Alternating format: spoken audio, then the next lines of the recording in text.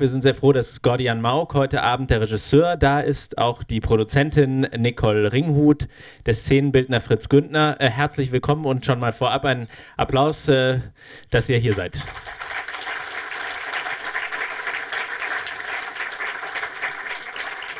Es wird nach dem Film die Gelegenheit geben, äh, ein paar Fragen zu stellen. Es werden sicherlich einige entstehen dabei.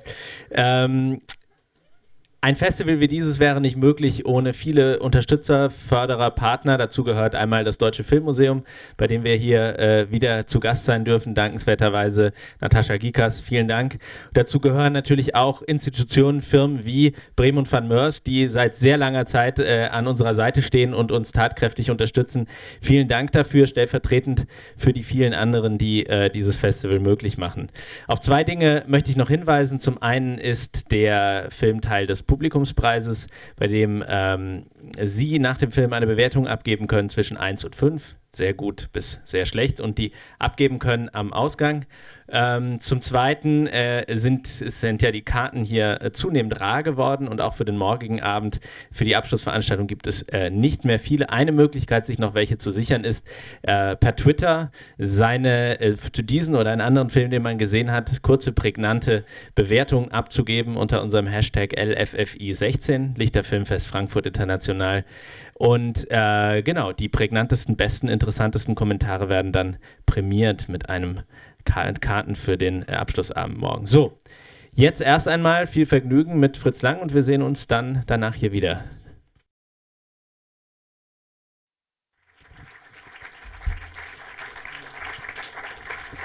Herzlich willkommen, der Regisseur Gordian Mauk.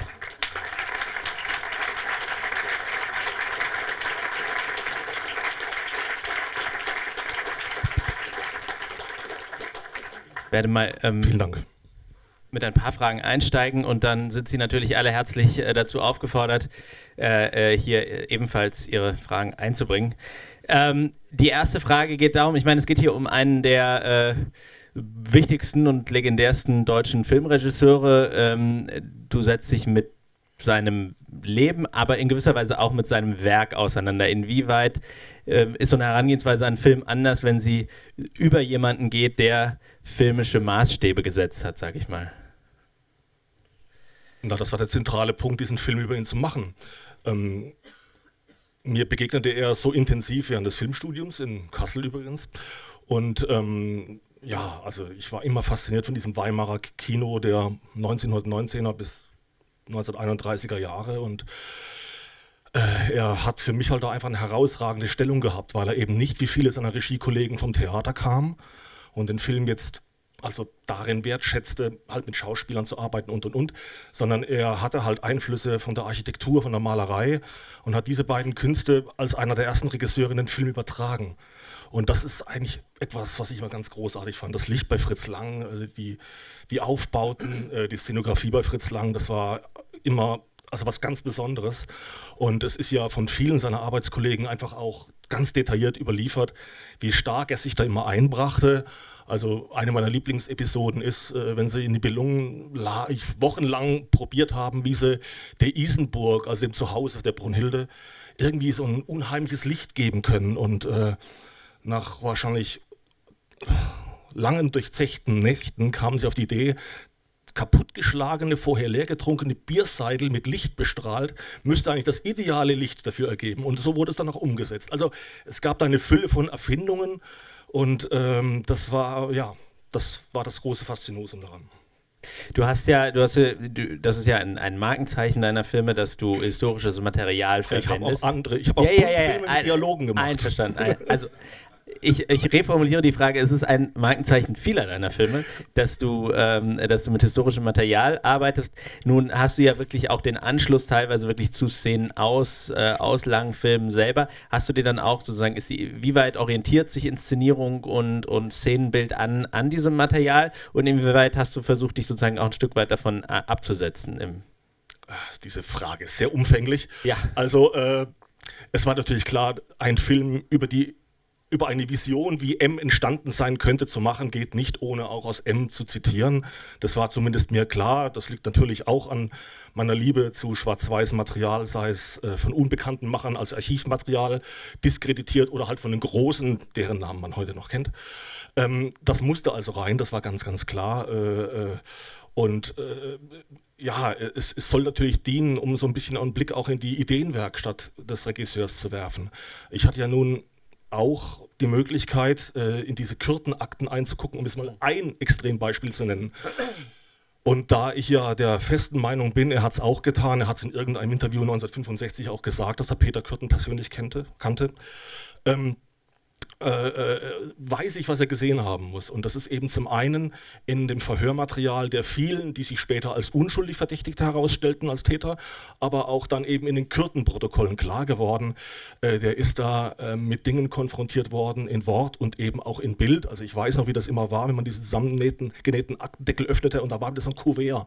Und da wusste man genau, okay, wenn das Kuvert ist, wenn ich das jetzt aufmache, dann wird wieder irgend so ein schreckliches Foto drinstecken, mit roter Tinte bemalt und ein sechsjähriges Kind mit 35 Stichen in die Schläfe. Also irgend sowas wird drin sein und so war es auch. Und zu wissen, dass der das gesehen hat und dass er es auch gelesen hat.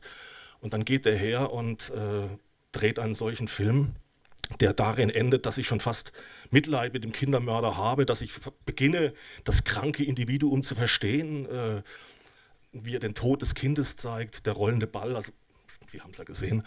Also das äh, fand ich bemerkenswert und lockte mich natürlich umso mehr, gewissermaßen den Film neben M zu machen.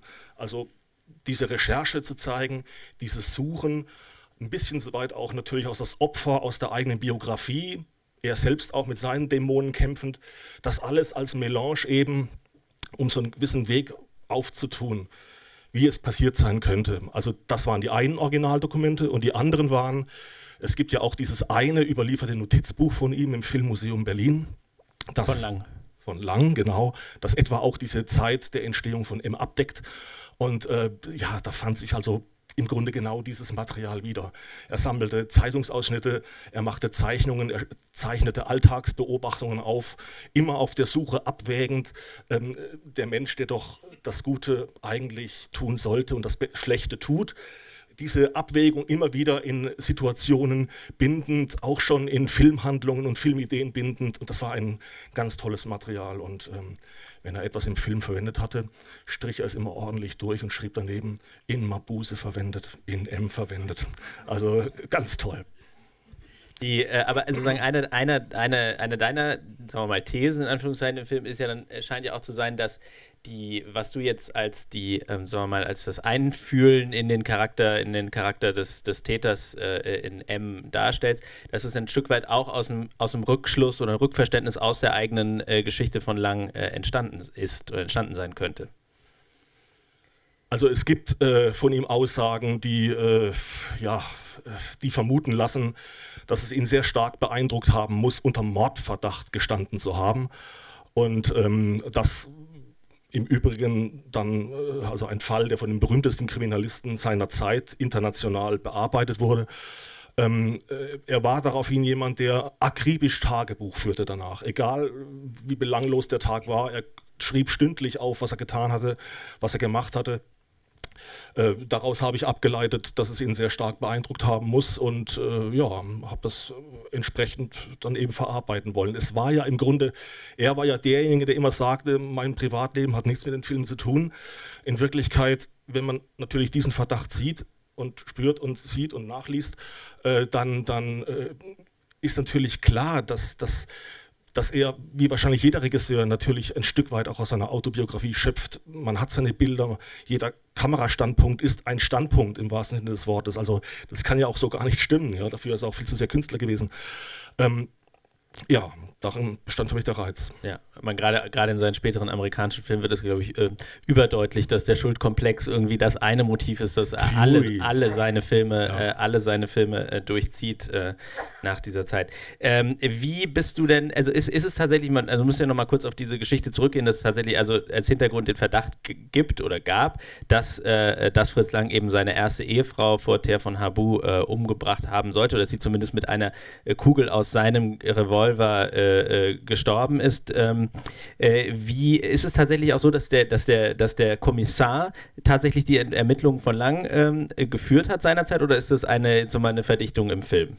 Ich lebte 14 Jahre lang in der permanenten Angst, dass mir jemand diesen Stoff würde wegnehmen können, weil äh, es genau so war. Okay. Äh, es, es war einfach äh, ein, ein, ja, ein, ein Stoff, der aus so vielen Zutaten bestand, die nach, danach schrien, äh, verfilmt zu werden. Äh, ja, es, es, ist wie du sagst. So. Ja, ja, ja. Okay. Also Ernst Gennard war also nicht, ja nicht nur ein, ein außergewöhnlicher Kriminalist seiner Zeit, der überhaupt erst einführte, dass die lieben Polizeikollegen das Areal des Tatortes abzusperren haben, dass mit Silberpulver Fingerspuren gesucht werden, dass die Polizisten nicht im Tatort rumlatschen, dass äh, nicht aufgeräumt wird, bevor die Kriminalpolizei kommt. Auch das war damals ein sehr gängiges äh, Mittel, um den Kriminalisten zu befriedigen. Es ist alles schon schön so ordentlich, sauber. Die Leiche haben wir auch schon weggetan. Also das alles hat Gennard erfunden, aber er, es gab noch einen weiteren Bezug. Dieser Kriminalist, und das kann man in Düsseldorfer Akten finden, er war auch ein Filmliebhaber. Also er war begeistert von dem Medium Film. Er wollte es immer wieder einsetzen, um auch das Publikum äh, auf Straftaten aufmerksam zu machen und zu sagen, wenn von euch jemand Beobachtung gemacht hat, kommt zur Polizei. Und er wollte die Serie ins Kino bringen und er wollte sie nennen Aktenzeichen XY ungelöst. Also, Edith Zimmermann, sorry, aber also da hatte vorher schon eine verdammt gute Idee, hat sie aber nicht umsetzen können. Es finden Sie also Kostenvoranschläge in den Düsseldorfer Akten, wo er Filmfirmen anfragte, ob man da nicht irgendwie mit Fotos und. Gibt es Fragen aus dem Publikum? Würde ich vielleicht so lange in der Zwischenzeit, bis sich was findet, eine. Nein, nein, nein, nein, nein so, so, schnell nicht. Nein, also, äh, äh, ein, eine, eine interessante Frage ist ja die, die des Schauspiels. Also es gibt ja, man hat ja, man arbeitet, wir hatten jetzt vorhin gesagt, mit Histo äh, konfrontationshistorisches Material in der, in, der, in der Inszenierung. Dann ist es natürlich auch so, dass äh, man äh, anders spielte äh, in, in, im, im Jahre 1930, 31. Wie seid ihr da dran gegangen? Also wie habt ihr euch sozusagen in, in, der, in der Schauspielführung, in den Schauspielern in, in den Bezug zu dem alten Material äh, genährt. Wie meinst du das, dass sie 1930 anders Naja, ich würde haben? sagen, ein, ein, ein, ein, Schauspiel hat sich ja ein Stück weit auch, auch entwickelt und das, was man sozusagen, wie, wie, man, wie man seinerzeit gespielt hat, wie, wie Schauspieler gearbeitet haben, naja, also andere. Viele, viele mussten natürlich erst sprechen lernen, das ist ja hinreichend bekannt, also viele Stummfilmstars fielen von der Schippe, als der Ton eingeführt wurde. Also ich glaube, der Fritsch, Willy Fritsch war, glaube ich, einer der ersten, der als Stummfilm Schauspieler eingekauft wurde und dann kam halt dieser Tonfilm und dann war er der Erste, der plötzlich sprechen musste. Er hatte das Glück, er konnte es. Was man ihm nicht gesagt hat, ist, dass er jetzt auch noch die ungarische Version gleich mitspielen soll. Inklusive Gesang. Also durchaus auch, ich würde sagen, auch selbst heute eine Herausforderung für einen deutschen Schauspieler. Sind wir uns einig, glaube ich. Also, ja, äh, nein, also die haben damals Bitte und Danke gesagt und das habe ich heute auch getan. Also es ging darum, die Rolle vorzubereiten, es ging darum, den Schauspieler vorzubereiten. Äh, das habe ich aber nicht anders gemacht als in jedem anderen Film auch. Okay. Also sprich eben so viel Hintergrundwissen der Zeit, äh, Detailwissen über die Figur und ihr unmittelbares Umfeld gesammelt und eben immer wieder mit den Hauptdarstellern besprochen, um ihnen das Einleben in die Rolle leichter zu machen.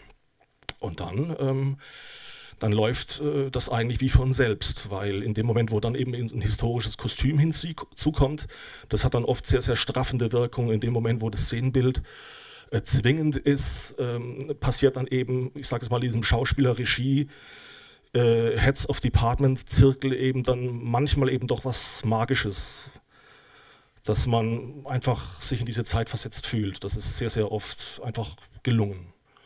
Und wenn nicht, dann hat man es eben versucht, bis es sich wieder einstellte. Dann äh, danke ich dir sehr herzlich fürs Kommen, für diesen Film und hoffen wir, dass er äh, auch die Debatte und das Interesse an diesem Entschuldigung, großen deutschen darf ich gerade mal eine, eine kleine Entschuldigung, Frage. das habe ich, Entschuldigung, hab ich nicht Frage gesehen. Verzeihung, bitte. Ja. Zu dem Lied, dass Sie da vielleicht noch mal was sagen. Das war ja sehr eindringlich, aber ich für meinen Teil habe es jetzt nicht verstanden, wo die, äh, warum äh, das ge zu Anfang und vor allen Dingen im Abspann gezeigt, was hat es damit auf sich. Das ist ja auch mehrfach angesprochen worden, ich kenne das Lied, hieß es mal, als die SA gesungen hat.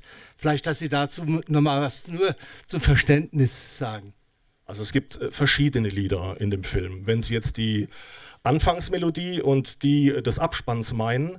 Ähm, das ist im Grunde ein Lied, das äh, sehr oft im Ersten Weltkrieg gesungen wurde, das weitaus älter ist.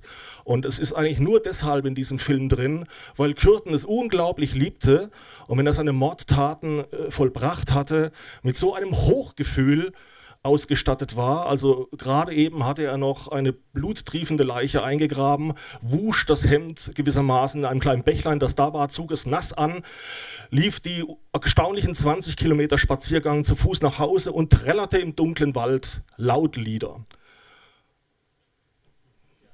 So war er halt, ja. Also das muss man so sagen. Äh, das ist überliefert, das hat er erzählt. Er hat auch sehr gerne bei den Untersuchungen gesungen. Ähm, und deswegen ist das hier im Film. Ja. Ja, ich habe noch eine Frage auch zum Verhältnis von ähm, Fritz Lang und Thea von Harbu und ihrer Art zu arbeiten. Ist das irgendwie belegt, dass die Beziehung sich eigentlich nur noch in der Arbeit ähm, ja, ergeben hat und auch dieses, äh, ja, die, die, das Skript irgendwie unter der Tür durchschieben und gar keinen Kontakt mehr haben? Gibt es dafür eine reale Vorgabe? Also es ist von Thea, von Habu der Satz überliefert, ich glaube Lotte Eisen hat ihn aufgeschrieben, dass sie von den äh, elf Ehejahren ähm, im Grunde elf gearbeitet haben, aber sich geliebt nur eins. Also sie hatten einfach keine Zeit zur Scheidung. Das ist überliefert, das habe ich als Futter gerne aufgenommen. Ähm, aber ob jetzt äh, unter der Tür durchgeschoben wurde oder nicht, äh, das ähm, ist auf meinem Mist gewachsen. Aber Thea von Habu war eben ein, ein Arbeitstier des Tages, möchte ich mal sagen. Sie war fleißig, sie war gründlich, sie hatte einen Rhythmus äh, für den Tag, äh, den sie abarbeitete und lang war ein Nachttier. Also das war erstmal eine ganz große Verschiedenheit, aber was sie trotzdem eben miteinander unheimlich bündelte, das war die Besessenheit für den Film, vor allem eben in diesen ersten frühen Jahren.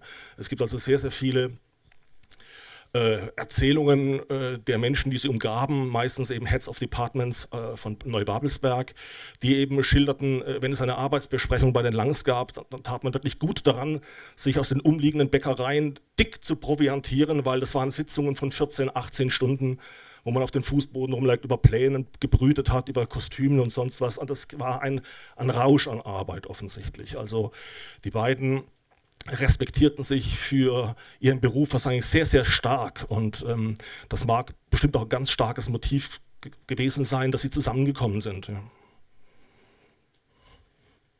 Letzte Frage noch, weil wir dann noch, glaube ich, Schluss noch nicht geben. Also ich habe äh, gelesen, dass so Thea von Harburg, also gerade in den 30ern, also diesen, als die Filme entstanden sind, sich dann auch der Nationalsozialistischen Partei zugewendet hat. Wie hat sich das dann auf die Zusammenarbeit äh, ausgewirkt? Äh, äh, wissen Sie da was darüber? Also meines Wissens wurde sie 1941 Parteimitglied. Da war Lang ja schon acht Jahre weg. Aber äh, Lotte Eisner, und ich glaube, Lotte Eisner konnte Thea von Habu wirklich nicht gut leiden. Sie mochte Lang eher, aber jetzt nicht als Frau, sondern eben wirklich als Kritikerin.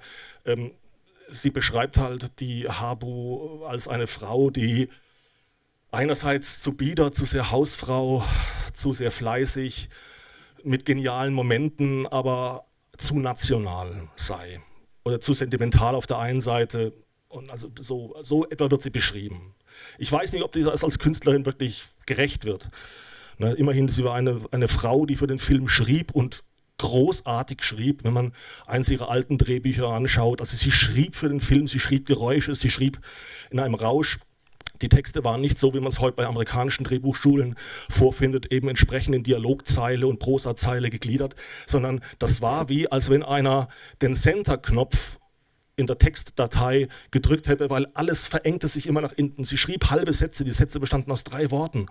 Ja, ein Flakon klingelt, die Eisenbahn rasselt, Tschetschong, Tschetschong, Tschetschong, 5-1, 5-1 ist es zum Wahnsinnigwerden. Sonja greift an den Kopf. Also, also sagt er, jeder, jeder Satz eine neue Zeile. Also es ist also man spürt förmlich, äh, äh, dass sie mit, für dieses junge Medium äh, wie geschaffen war zu arbeiten. Und das mag natürlich für so einen Bilderstürmer, wie lange es war, der selbst eine starke visuelle Ausprägungskraft hatte, sehr anziehend gewesen sein.